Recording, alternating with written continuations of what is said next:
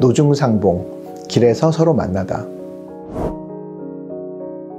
인근 농촌 마을에 사는 서로 알만한 두 부부가 나들이 가다가 논두렁길에서 우연히 마주친 모양입니다. 엄격하게 내외하는 사대부 양반들과는 달리 남녀가 모두 정답게 반가운 이야기를 주고받는 장면에서 당시 평범한 사람들의 자유롭고 또 구수한 삶의 일면이 보이기도 합니다. 회원 전시첩에서 유일하게 평범한 백성들의 모습을 보여주는 그림이기도 한 이 작품은 동시에 부인들이 쓰는 상반신을 가릴 정도로 거대한 삿갓 그리고 지프로 만들었지만 선비들의 갓을 방불케 하는 남편들의 큰 패랭이들을 보아서 문화, 경제, 정치에서 황금기였던 18세기 진경시대를 살았던 평범한 사람들의 패션 감각을 엿볼 수 있게 해주기도 합니다.